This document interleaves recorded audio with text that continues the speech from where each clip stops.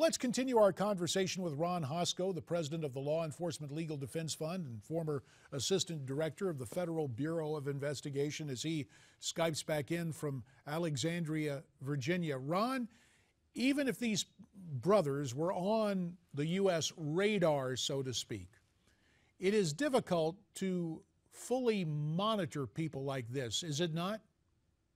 It really is, JD. Uh, and, and the French will be picking through what they knew and what they did over the coming weeks as this story continues to unfold. But I think what you are going to see there is much like U.S. law enforcement and national security folks face every day, where you are constantly trying to allocate your resources based on your threat assessment of the day, the week, the month and threats may go up the radar higher and or come down. And based on that you're going to allocate people surveillance assets you know uh, te- technical surveillance techniques. We you know government can't be everywhere every time. We cannot monitor nor should we everyone's facebook. And even were you to be able to do that you still have to put into context words that may be on a Facebook post, and when do words project or or, or really you know allow you to determine what's actions what actions will follow. So it's how very difficult. And and under mindful of that, how do organizations like the FBI make that type of differentiation? Is does this get into the realm of metadata?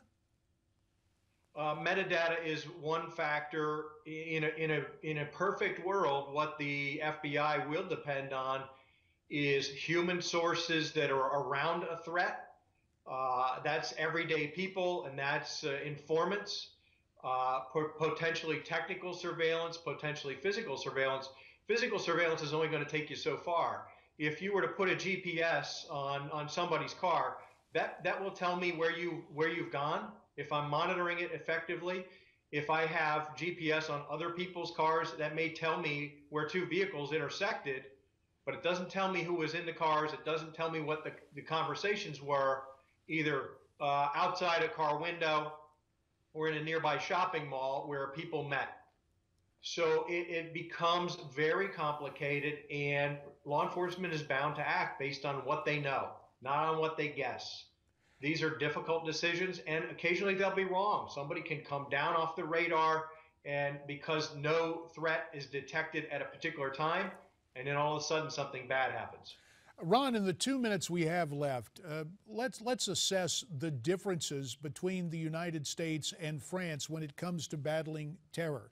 The French have come in for some criticism, essentially abdicating a police presence in some of those Islamic enclaves. Uh, held down by immigrants uh, encircling the city of Paris and other French cities. Uh, there's also been criticism of uh, a kind of leniency in terms of the sentencing in the French judicial system. For example, one of the Kouachi brothers, who was funneling uh, terrorists or fighters into the Middle East, uh, spent a matter of months in a, uh, in a French prison.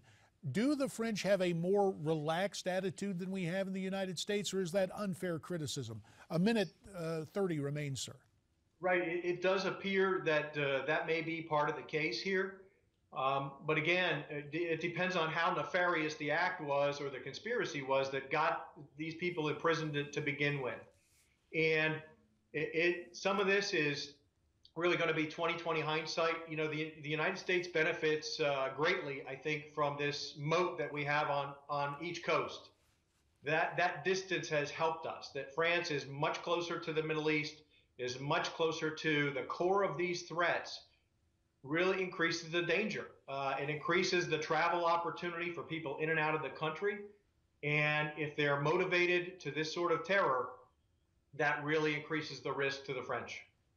And yet, with modern transportation being what it is, and uh, the ability to travel transoceanically, uh, we've already seen terror on our shores, and that is something that law enforcement will be working hard here to prevent in the days ahead. Ron Hosko, former Assistant Director of the Federal Bureau of Investigation. Sir, we thank you very much for your time and your insights today via Skype from Alexandria, Virginia.